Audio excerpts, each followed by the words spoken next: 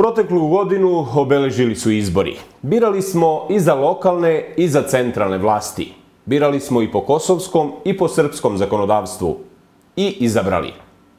Sad čekamo da se oni koje smo izabrali saberu i konstituišu, ne bili počeli da rade i naprave ono što su čvrsto obećali.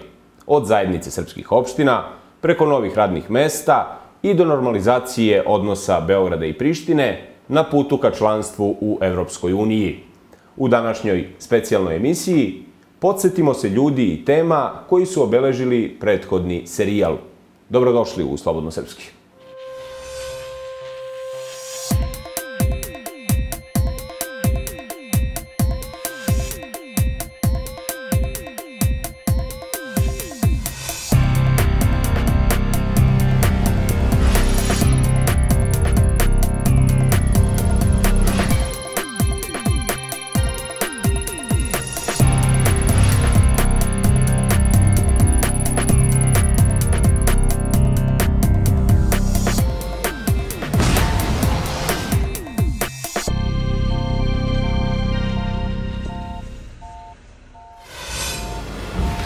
Čini se da u poslednje vreme, eto, na sreću, nema tih, nema tih svakodnevnih incidenata, te na mostu, te u Bošnjačkoj mahali. Tako, to je sad je, u tom smislu je mirnije, međutim, to treba negovati ako hoćete da nemate destabilizaciju. Tako da, ja kažem, manimo se neke visoke politike, da mi probamo da rešimo pitanje vode. A ima neke saradnje tu među ranjenima? Pa da, još je rano za tako nešto. Se obnavlja neka trgovina nešto? Pa postoji, da. U Bošnjačkoj mahali 90% e, vlasnici prodavnice su Albanci, ali tu Srbi dolaze i kupuju.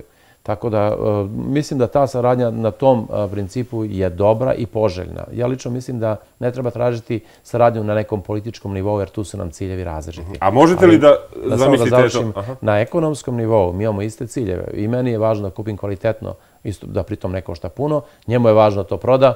Tu je naš zajednički interes. Ekonomski interes je nešto što bi moglo da nas povezuje. Da, dobro, eto, kažete oko politike baš i ne možete da se složite. A možete li, recimo, da zamislite neki događaj, ne znam, kulturni, sportski ili možda nekakvu, ne daj Bože, elementarnu nepogodu koja bi okupila i Srbe i Albance ovaj, iz ne tako davno podeljenog grada. Pa imate ovaj pitanje koje ima dva dela. U jednom delu se svakako može očekivati da ne daj Bože bude elementarna nepogoda. Mislim da bismo se složili. Ali oko kulture, medija, decu pomešati danas, mislim danas je to još uvijek delikatno. Ne, ne isključuje mogućnost u budućnosti negde, ali za sada je to apsolutno isključeno. Zašto? Zato što ljudi neće da rizikuju taj, te kontakte ako znate da za sebi imate 20 godina bez ikakvih kontakata. Pa od nečeg mora da se krene, to je nekako ali naj... Nećete krenuti s decom, to je sigurna stvar. Znači, pre odrasli, ja sam rekao, ekonomski nivo, to je ono što je dobra saradnja, rešavat ćemo infrastrukturne projekte, to je također dobro i ne treba biti megaloman.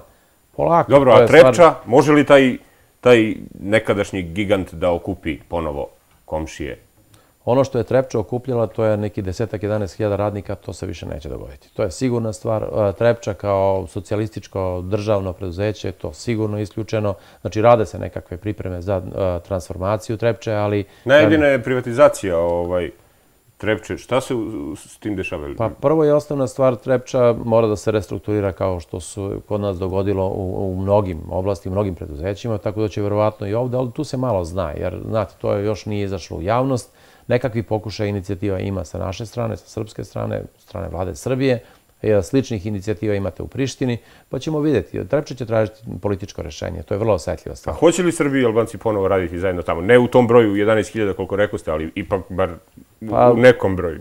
Ja to ne isključujem, razume se nekad u budućnosti, ali ja gledam to, ovaj, kako to kažem, sa, sa malo realističnije strane. Malo je verovati da će topionica da proradi, a to je jedino mesto gde može da topionica olova da, da se oni opet zajedno ili elektroliza cinka. To je teško ovaj, za poverovati da će u dogledno vreme da se tako nešto dogodi. A šta Kad se vidite... dogodi, onda, onda je moguće, razume se. A šta vidite kao najveći izazov trenutno sad u, u Severnoj Mitrovici? Prvo je bezbednost, a onda je velika nezaposlenost. To je ono, to su dve stvari koje, koje ovaj, ozbiljno opterećuju. Je li tamo ista situacija kao kod nas ovdje na jugu? Svi hoće ovaj posao u tim državnim... Jest, tačno, svi hoće u administraciju, šta god. Oni kažu, evo neka dete radi samo kao kurir, stavi ga za čuvara samo. A čuvara je već u vremenu ima 12 ili 15, mislim, za jedno malo. Neko da to nije realno zapošljavanje. Mislim da će ljudi morati da razmišljaju o tome da mali zanat, da poljoprivreda, što, što da ne proizvodnja hrane, prerada hrane, To su stvari koje, koje mogu da, da ovaj, budu dobro mjesto za zapošljavanje i nije sramota raditi u poljoprivredi. Vi ste nam jedan od redkih gostiju koji nam dolazi iz Srbije bez Kosova. Je li vas neko maltretirao na putu ovdje do, do danas, do Čaglavice, gdje snimamo ovaj intervju? Ne, znaš, prvo, hajde da kažem, ništa od najavljenog velikog snega, put je dobar. A sad u odnosu na rani period, ako može se maltretirati, tretirati, ipak moraju te granične procedure u punktevima policije. To je obaveza. Jeste platili ono, ono obavezno osiguranje kad ste svojim kolima ušli ovdje? Pa, hvala Bogu da gre, sada vozila građana ne plaćaju, a imali smo dve godine to veoma otežanu obavezu koja je bila nepodnošljiva. Umesto da se poboljša, poboljša sloboda kretanja, zapravo imali smo obrnuto tim jednim od Dobili smo slobodu koja se plaća. Koja se plaća. Ali dobro, ne plaćaju baš svi. Ne, dobro, ali ipak je to poprično bilo. Ako je zeleni karton 20 eura godišnje, ovdje je 100 eura. E, mesečno je bilo prevelika suma. I tu je jedina po meni u to vreme gde je funkcionisala recipročna mera. E, kosovski vlasti u odnosu na meru koje je vlada Srbije Da, ali izgleda da se ovdje na Kosovu to ovaj, od nekih traži, od drugih ne. Pa, Mislim na Srbe tamo iz tog kraja, oni, oni plaćaju, ili tako? E, sad vidite, mi smo jedno vreme, kad smo tu dve godine plaćali to, e, optužbe su bile Albanaca da Srbi ne plaćaju. Na severu se zna mhm. da nema, nisu imali takvih obaveza. A obično, i, kad su Srbi e, ovog pomoravlja u pitanju, uh mhm. -huh. koji češće dolaze tamo, oni imaju dvojake registracije i onda preko njih su mogli i da se oslobode ti da. obaveza. A gdje ste ušli sad? Je li na Končulj? Ne, ovamo kod Mučibabe. Aha. Ili za to vas, ili to za vas obična, ne znam, državna granica ili neki neobični administrativni prelaz? Pa čim se tamo mora, kao prema makedonskoj granici, ili pasoć ili lična karta, uh -huh. znači procedure su iste sad neko, kao što vidite, iz ili politički i emocionalnih e, pobuda naziva ovako ili onako, ali ipak su procedure da, da, ali ja vas uobičajene, ja vas pitak šta je to za vas? Uobičajene ovaj procedure koje se obavljaju kad se prelazi iz jedne u drugu državu. I vi to doživljavate kao granicu? Prakti, praktično je to državna granica. Mm Jedan građanin u Mitrovici kaže da Srbi i Crnogorci to je isto. Šta vi kažete na to? Ja kažem da je to, da on misli tako i ja da nema, nemam ništa protiv toga što on tako misli. Ja tako ne, mislite mislim, tako? Naravno da ne mislim. U čemu je razlika? Pa, Crnogorci su posebna nacija, Srbi su posebna mm -hmm. nacija, mi jesmo bliski narodi, nacije i tako dalje. Vezuje nas mnogo toga kroz istoriju i danas također i tako dalje, ali Crnogorci su Crnogorci, Srbi Jasno. A gde mali Crnogorci danas e, sa Kosova idu u školu? I pod kojim nastavnim planom i programom uče? Vjerujte da ja to ne znam, zaista. Kako ne znate? To oni idu u škole, vjerovatno da idu u srpske škole. Ako, mm -hmm. ako postoje. Znači, je, je li omogućeno obrazovanje na maternjem jeziku? Ipak ste vi tu ja mislim, predstavnik? Jeste predstavnik, sam, nije sam dugo tu. Mislim da obrazovanje na crnogorskom jeziku tih malih crnogoraca još nije obezbijeđeno i još nije zaživjelo na Kosovu, to ne znači da se i o tome neće voditi reč. A gdje se leče? Gdje, kako? Pa u zdravstvenim medicinskim ustanovama Kosova. Gdje i drugi ljudi. Gdje se zdravstvene knjižice? Ja imam zdravstvenu knjižicu, ja se lečim u, u zdravstvenim ustanovama koje funkcionišu po pa, sistemu Republike Srbije. Vjerovatno da i oni imaju, isto kao vi. Oni su građani Kosova. Znači, vi ste građani Kosova. Da, da, ali ja se lečim u ustanovama Republike Srbije na Kosovu. To vas pitam. Pa, vjerovatno da neki od njih se liječe i ustanovama Republike Srbije, a neki ustanovama Republike Kosova. Znači... Planira Crna Gora možda da otvori nešto? To ne znam još, ali ako bude u takvi, ako bude takvi Neku školu planova, ili bolnicu, dom zdravlja ili nešto. Ako bude takvi planova, mi ćemo se vidjeti u vašem studiju, pa ćemo, pa ćemo o tome podrobno razgovarati. Jasno. Šta fali, eto, to, tom briskom sporazumu? Mislim, tu, tu piše da smo svi ravnopravni. Pa, pa svaka, niko neće da nas svaka bije. tačka njihova je ucena i prvenstveno da se završi ucena sa Kosovom, da se Kosovo prizna kao nezavisna država. Svi putevi vode u taj kanal, svi kanali. Pa to svaki čovjek, svaki Srbin to vidi.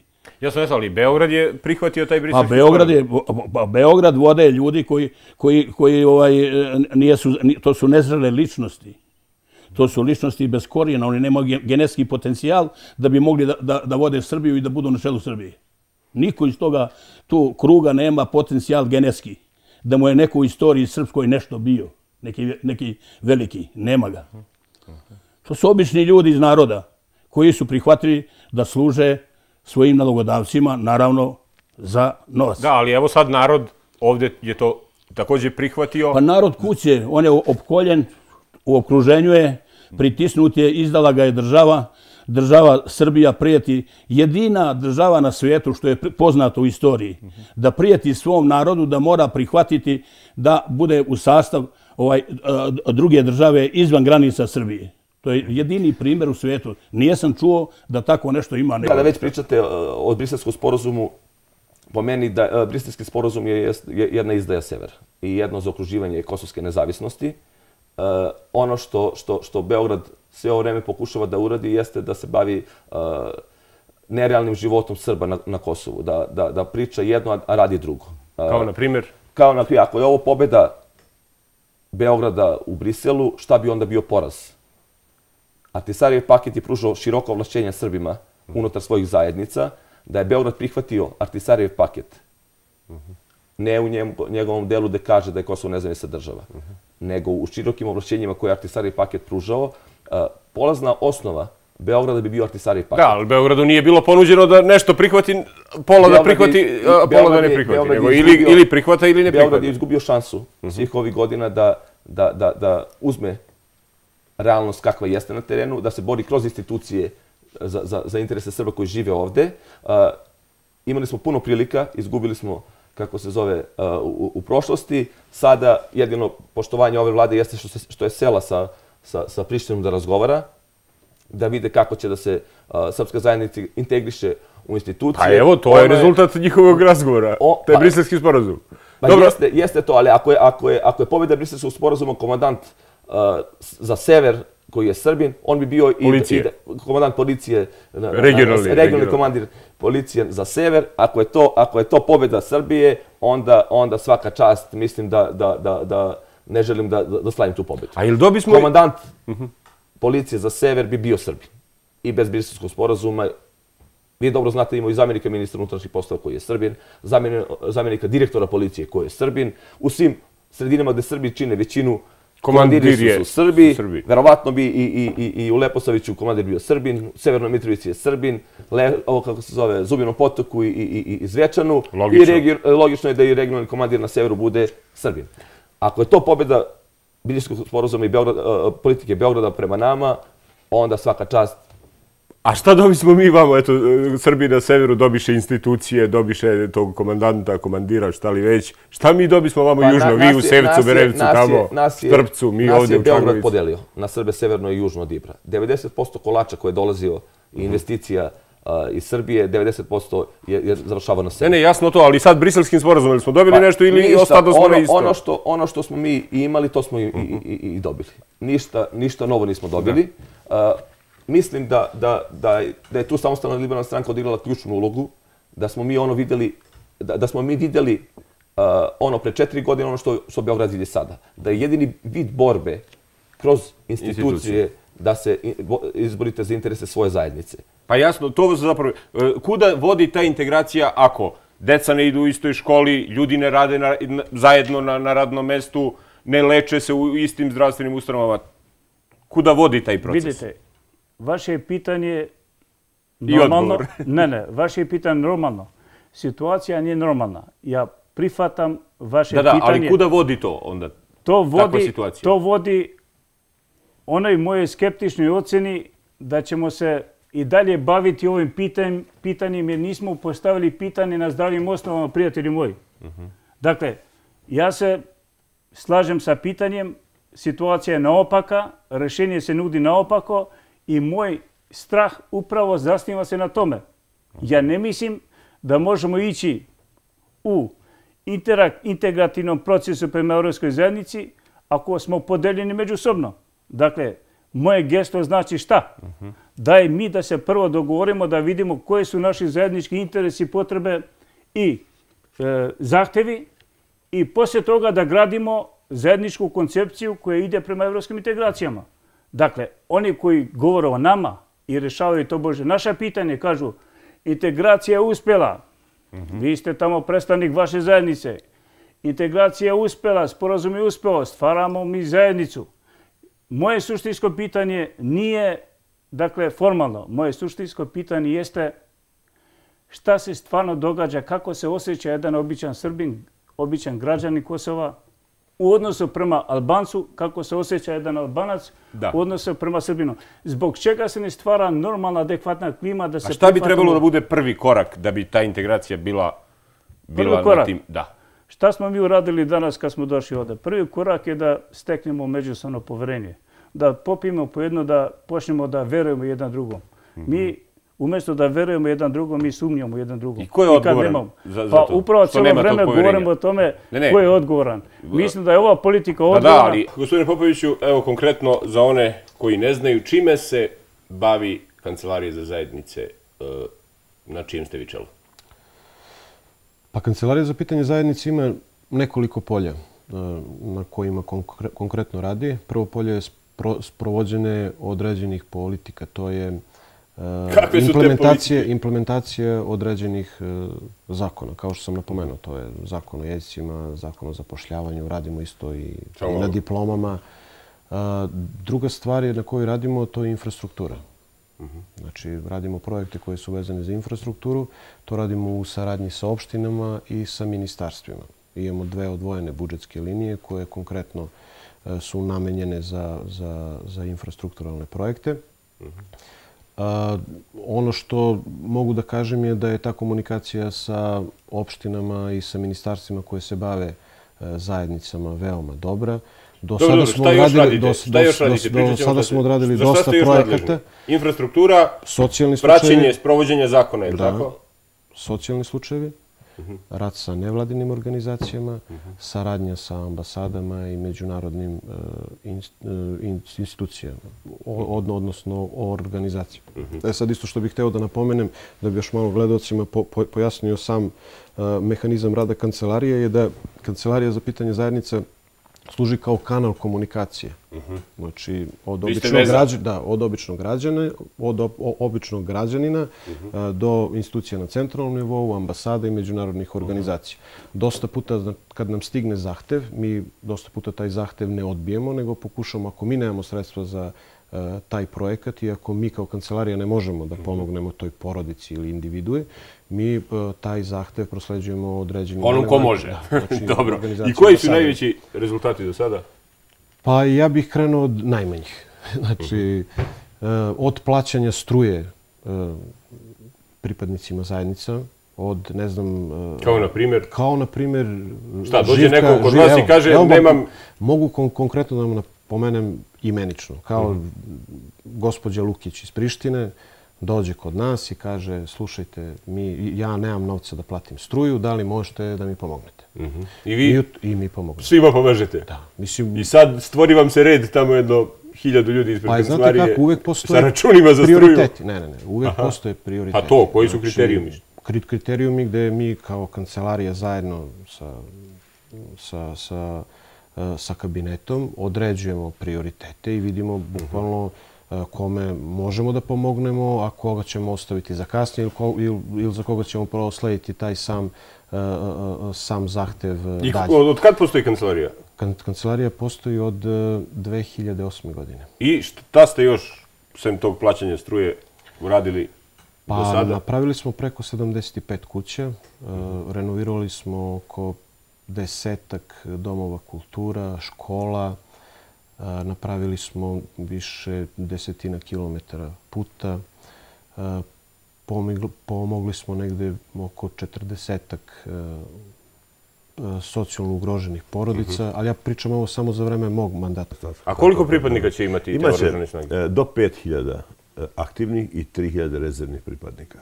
Znači, danas imamo 2500 i za deset godina ćemo postići taj, taj broj. Znači, e, mi ćemo postupno narast e, na i e, u skladu procjene situacije i u skladu naših financijskih mogućnosti i tako da dok imamo tu KFOR, dok ide proces normalizacije, mi e, i ono što je najvažnije, ni mi, ni koji ni sve druge države ne računamo da ćemo se mi u slučaju nečega sami obraniti. I ne, ne pravimo vojsku samo da bi se mi od nekog, ili čak što više od nekog konkretnog odbranili. -huh.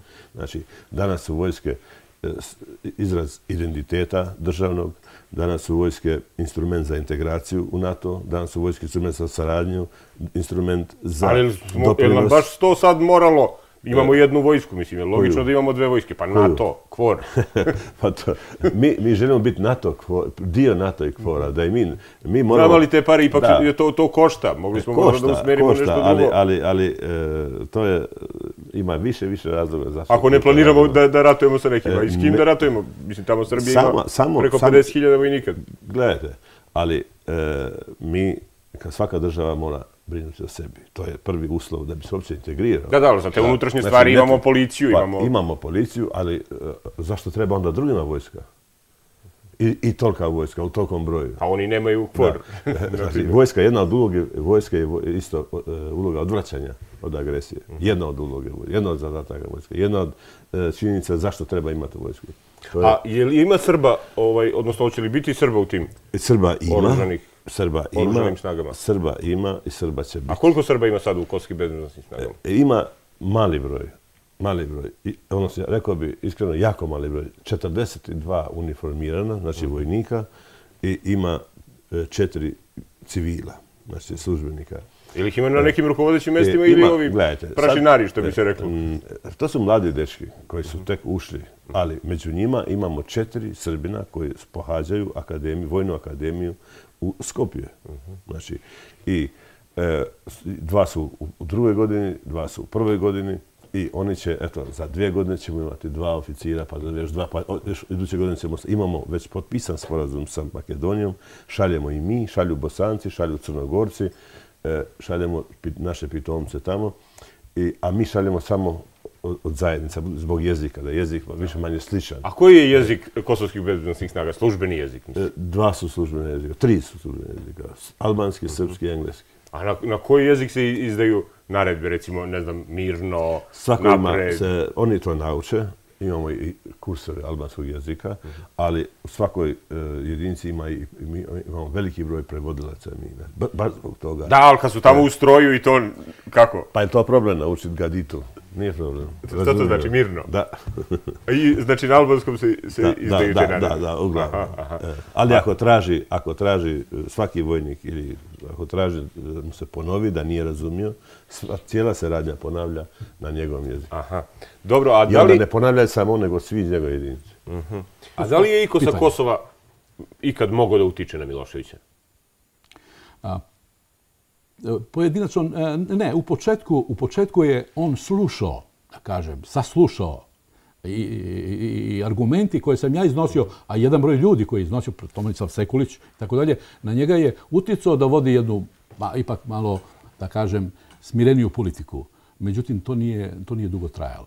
A dobro, evo ajde da se vratimo sad u ovo sadašnje e, vreme. Da li danas neko e, sa Kosova može da utiče Ma ne može na, na da, ne, ne može utiče zato što kosovsko, kosovski Srbi nikada nisu postali politički subjekt. E, imamo poslanike tamo, ne znam, Zvonko Stević, Marko Jakšić do skoro bio, imali smo i ministra da, ali za oni su, Kosovo, ali su, oni, su, oni, su deo, oni su deo partijske politike u Beogradu i oni, oni su kada bi oni bili ovde uz poštovanje Marku Jakšiću, kada bi Zvonko, kada bi Zvonko Stević došao ovde se kandiduje kao Zvonko Stević, nikada ne bi dobio tu poziciju. Ali on je izabran od strane partije i sada ispod imena uh, lidera partije može da prođe ko hoće. I Pa šta rade ti dakle, naši dakle, dakle, mi, dakle, mi smo prokockali šansu da postanemo politički subjekt. I, e, čita, kako? Zašto? Čitava moja, čitava moja politička karijera od momenta kad sam napustio SPS i politiku Miloševića, je bavila se stvaranjem autentičke srpske politike na Kosovu i Petohiji. Međutim, vrlo je teško bilo da sad nama neko prepu, prepusti Kosovo, čime, o čemu bi govorio, govorili lideri u Beogradu, kad im je Kosovo bio glavni majdan, da kažem, za osvajanje i očuvanje vlasti. Da, dobro, znamo šta se desilo, bombardovanje, rat, posle toga sve ostalo. Da li je dijalog možda bio mnogo bolje rješenje za sve? Pa da, dijalog, dijalog je uvijek, uvijek najbolje rješenje. Međutim, kad nema za dijalog, tako su potrebno dvoje. E, Beograd i Priština, kažem, su dva jarca na brvnu. E, I e, Priština je pogotovo nije nikako prihvatala, nije odgovaralo da, da odustane od svoje strategije, a to je ovaj, ostvara, ostvarivanje nezavisnog Kosova po Jasno, ali očigledno je imalo podršku i Zapada i svih. Tačno je. A, a, a, a, postojala mogućnost da, da, da, Beograd... Da, Zapad je bio, Zapad je bio naš prijatelj. U dva svetska rata mi smo bili... A kako se posvađali smo? Treba da pitamo politiku. Zašto je to tako? Evo, evo da ću da posjetim na jedan primjer. A, mislim da je to bilo 90, da, 90. godine kada je dolazila američka delegacija, kongresna, e, kongresna delegacija u Srbiji. Milošić nije htio da primi Bob Dola, nije htio da primi Cimermana, pozove mene, pošto je tada bio potpredsjednik vlade, kaže, ti ćeš ih dole primiti. A, I ja sam primio, ja sam razgovarao sa američkom e, delegacijom, predsjednik nije htio da razgovara.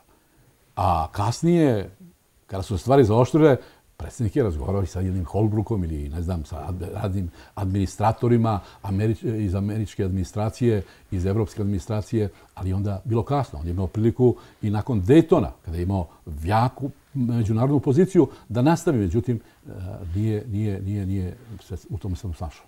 Gospodine Stojanoviću, ovih dana obeležavate jubilej 100 dana rada opštine Gračanica, na čijem ste vi čelu.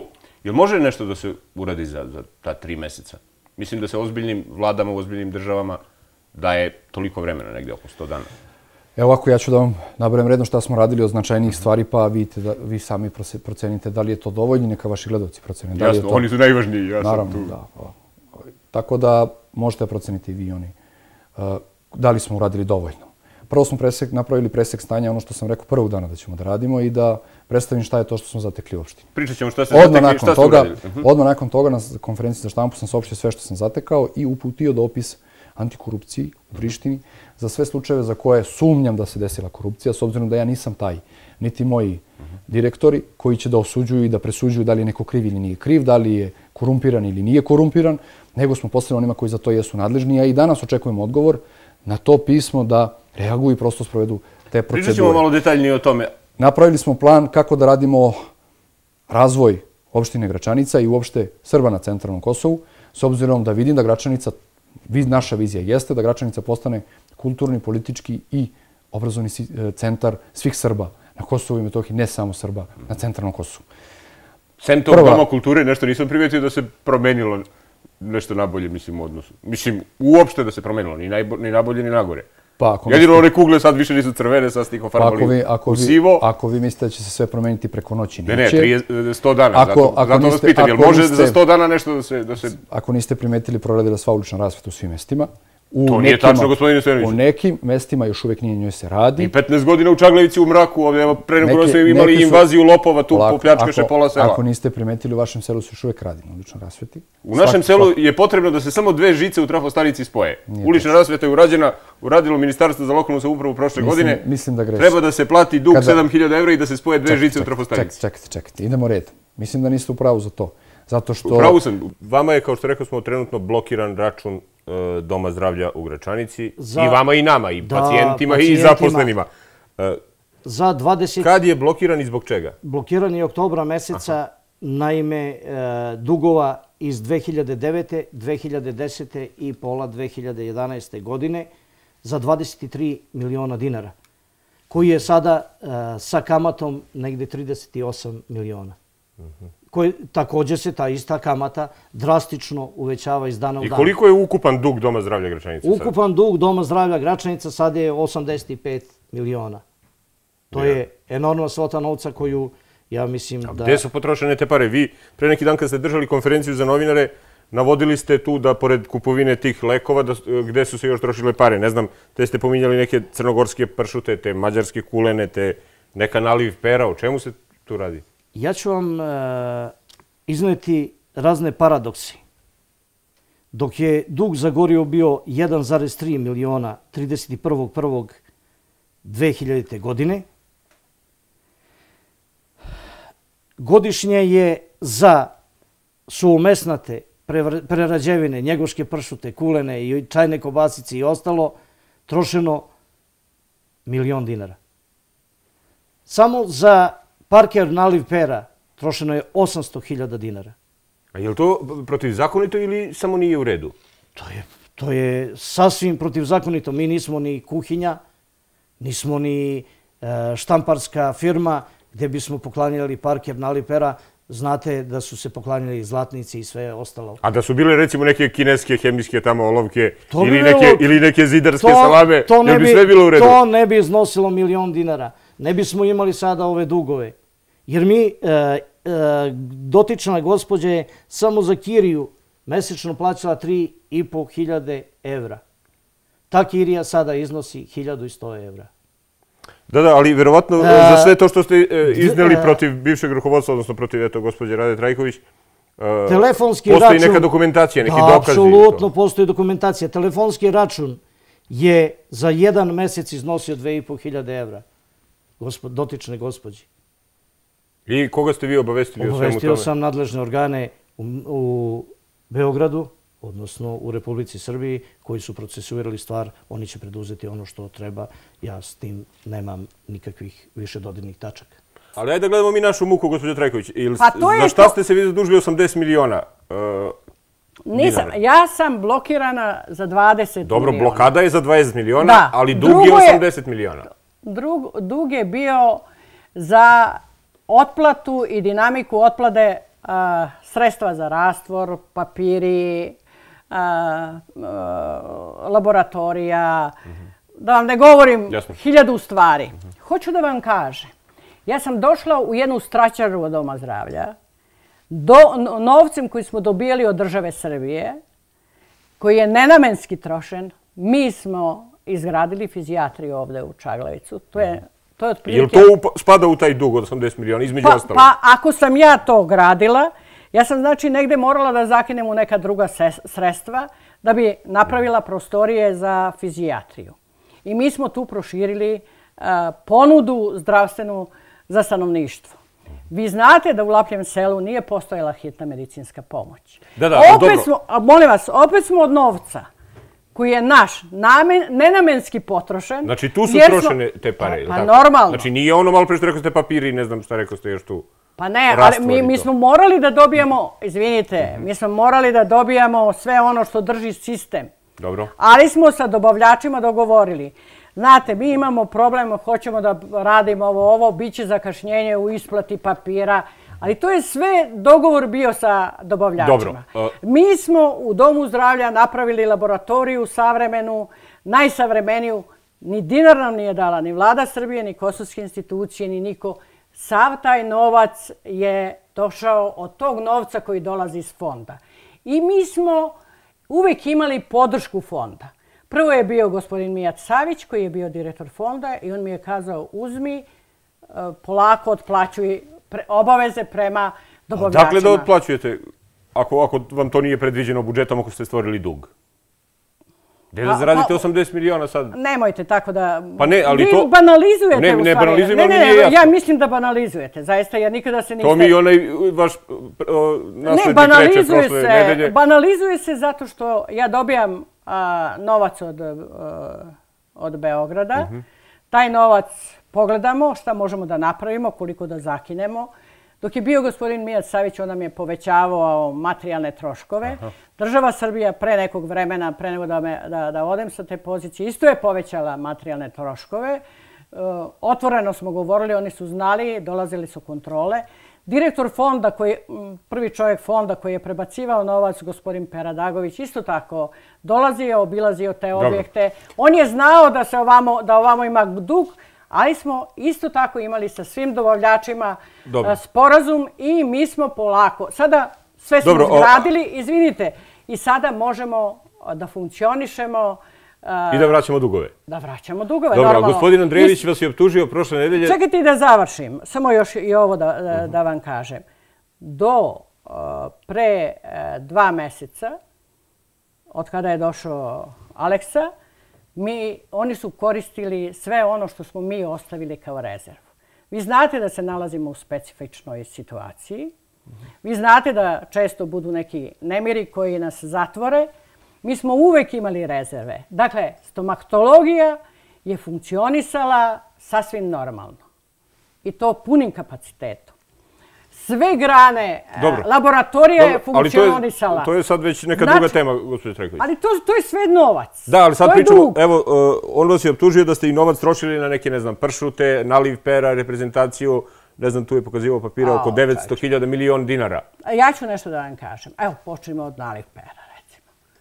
Aha, institucije koje je posjećivala međunarodni predstavnici, i to prvog nivoa u, u svetu, Kada dođu na Kosovo, oni su odlazili u manastir Gračanicu i dom zdravlja Gračanica. Mm Da li vi mislite, kada razgovarate recimo sa komodantom Združenih snaga NATO-a iz Brisela ili njegovim zamjenikom, i da ne nabrajam... A kad očekujete da će ta vaša opština postati funkcionalna, da, da kažem, da ne znam, dođe čovjek tamo da može da izvadi posjedovni list, uh, izvod rođenih ili ekstrakt, kako se to zove, valjda su, još uvijek nisu promijenili?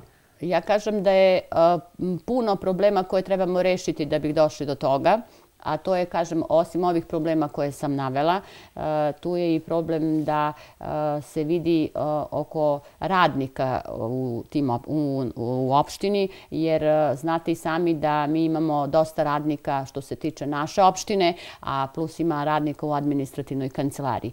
Na sastancima... Samo malo, koje radnike imate u vašoj opštini? Malo pre rekao ste da ste samo vi i gradonačelnik za sada tu. Da, ali privremeni organ opštine koje se... Srpske? Da. Po srpskom sistemu? Da. Kakve veze ima ta opština sad sa ovom kosovskom? Pa vidite kako, mi idemo ka tome da nijedan uh, radnik ne ostane bez posla. Ja sam ne znam, gospođo Božić, ali vi tamo postoji zakon o zapošljavanju. Treba da raspišete konkurs. Mm, normalno. Gdje ćete da primite radnike, a neki već, kao što rekao ste, postoje u administrativnoj kancelariji normalno. Znači, kad se bude to sve sredilo i mi uđemo u prostorije, normalno da će za svako radno mesto biti raspisani konkurs, tako da i ja kao predsjednik Skupštine nemam svoje radnike koji bi organizovali rad Skupštine, ali kažem vam... A ili čekujete da će da se ugasi ova srpska opština tamo, odnosno sad ovo privremeno veće, ili zapravo tu postoje i radnici, koliko, blizu hiljadu radnika. Da, ja mislim da država Srbija misli o tome i da razmišlja o tim ljudima. A ili vas podsjeća, pojene se u Ukrajinu, ova kriza u Ukrajini na situaciju u, ovaj, u, u bivšoj Jugoslaviji? U nekim stvarima podsjeća, u nekim je raščita. Prvo me podsjeća po ljudskim žrtvama.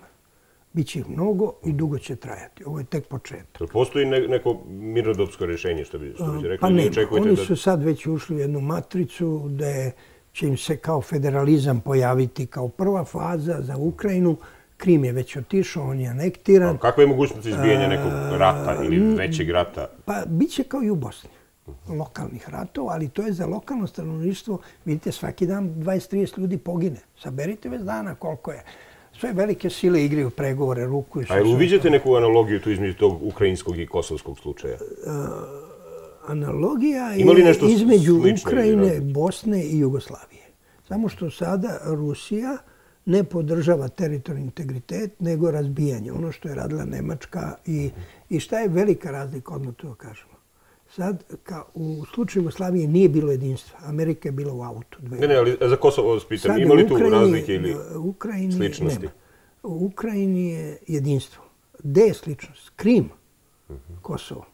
To što muti uh, Putin, on to naravno s pravom radi.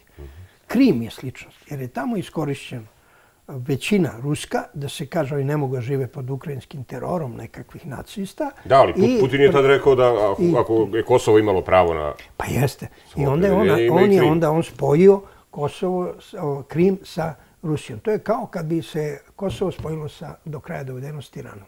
Uh -huh.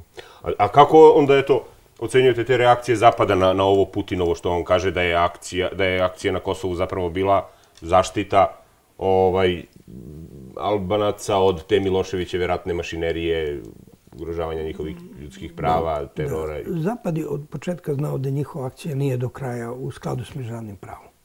Ja ću vas podsjetiti da... Mislim, to je bio izgovor Zapada da, da se Kosovo i, i, i Ukrajina ne mogu, ne mogu porediti iz, ne, iz to tog sada, slučaja. Ali oni znaju da su tada prekršili pravo. I sad njima Putin to nabija u, u kao se kaže, u oči.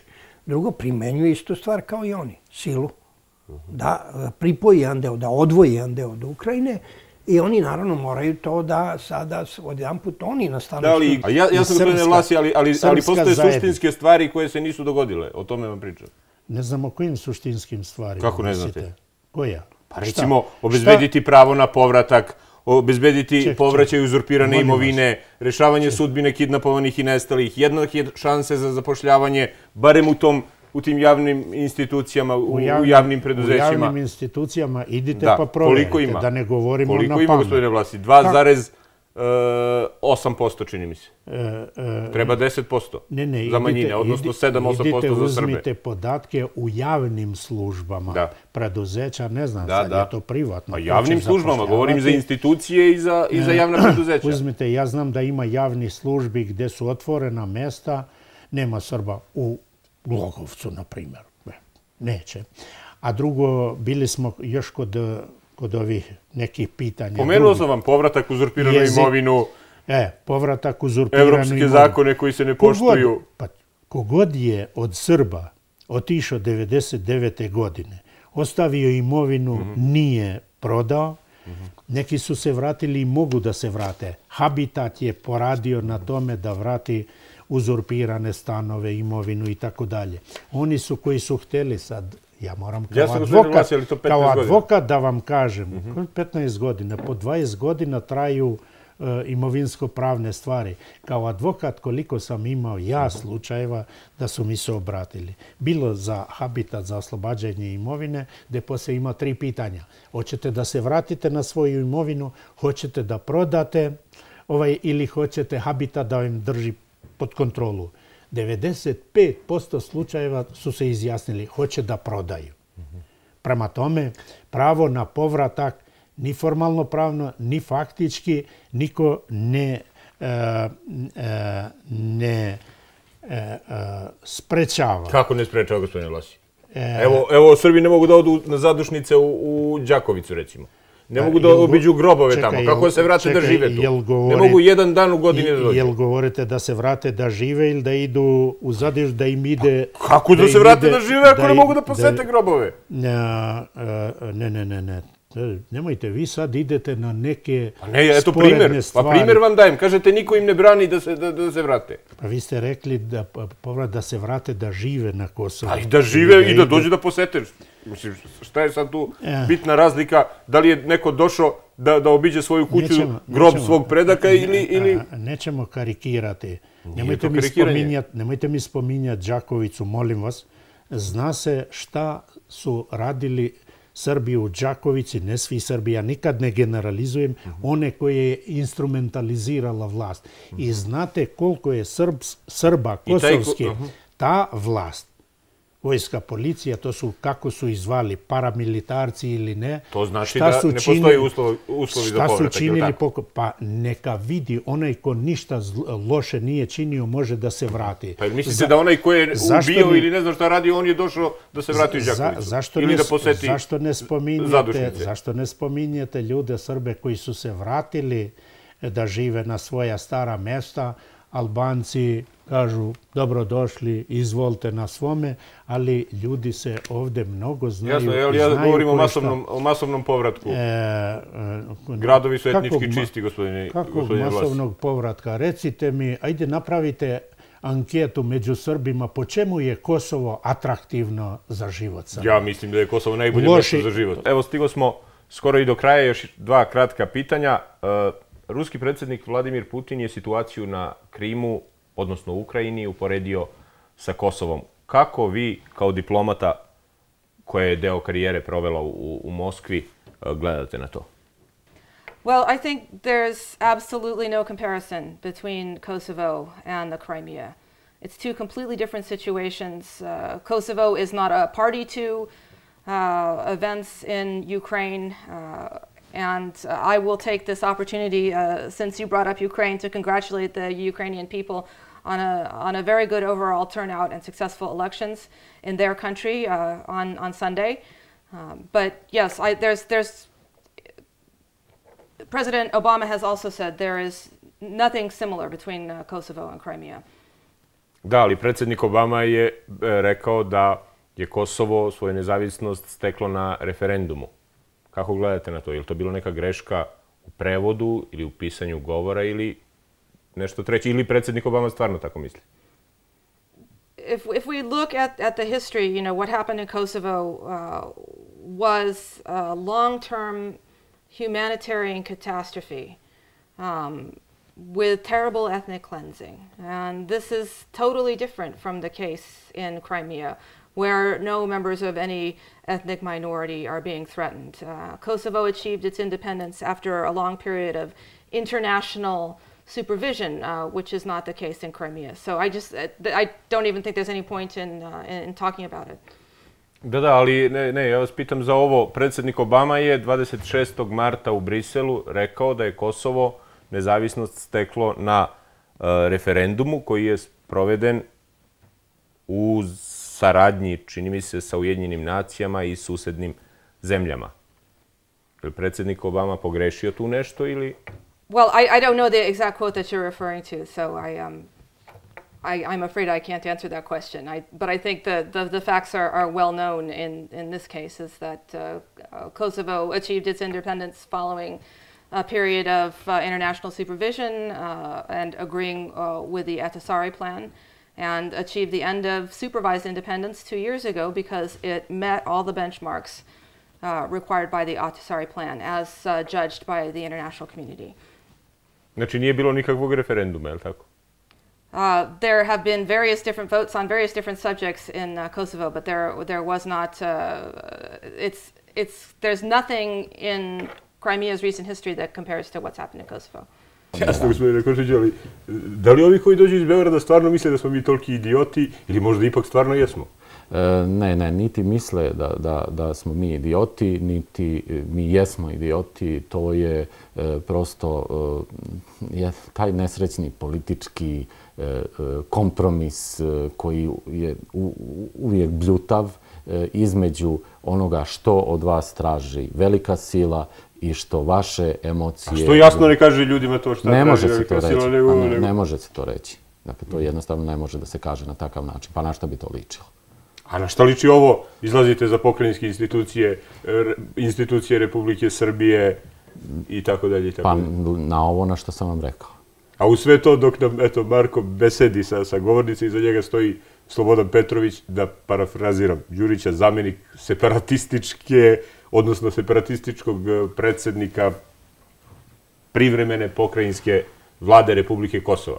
To je... To je, je valjda institucija Republike Srbije. Da, mislim... Dobro, vi ste čovjek iz sveta kulture. Da, je li ovo za neku komediju, tragikomediju, da. za nešto, mislim, to je pa suvo ne, zlato? Pa jeste, to, to jeste suvo zlato i za komediju, to jeste zapravo savršenstvo paradoksa i tih E, kompromisa. E, e, ključna stvar je da li, da li to može nešto da, da rodi. A šta napraviti od toga? Pa to je ključna stvar. To je, to je pitanje. Da li i kako od toga nešto napraviti? Koliko je stanje na Kosovu posle 99. godine nakon protjerivanja stotine hiljada Srba sa Kosova, naročito iz gradova, uticalo na, na umetnost na Kosovu? Pa, e, ovom mom ranijem ras, potpuno raspršenom izlaganju i odgovorima vama, a, pomenuo sam da je Kosovo a, tema tek sada postalo, zato što smo, znate, ona čuvena, meni je ovaj, druga Neša Galija, mi kaže, ja čekam da me ostavi devojka, pa da ja ispatim jedno šest meseci i onda tek mogu da pravim dobru pesmu. Tako i sa Kosovom. Ne možete u, u vrtlogu tragedije, ne možete vi tokom poplava, jel, dok se davite u vodi da opisujete tragediju antičku, antičku, da kažem, katastrofu, nego morate da proživite neko vreme.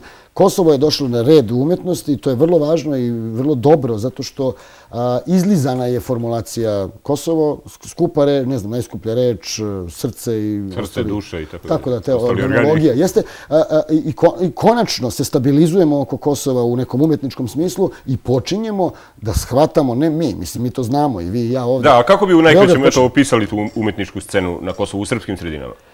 Pa ja mislim da je ona u povoju. ja mislim da je kao i srednja klasa. Mi smo imali taj rastur 99. Ono, kraj žurke, razlaz smo imali i svako je otišao, jel, neki, neki u centralnu Srbiju, neki u enklave, neki koji su bili tu, čak su i odatle odlazili. Jel? Vidite neke pozitivne trendove? Pa mislim da, da je e, došlo vreme, ajde tako kažem, e, i mi ćemo insistirati na tome kao institucija, u, u, u reformulaciji Mislim, umjetnost je uvijek nalazila neki svoj put i u ratu, i u miru, i u gladu. Ona ne, pita, ona ne pita ni za ovaj, novac, ni za, kako se to kaže, ni za ko je na vlasti. Jel?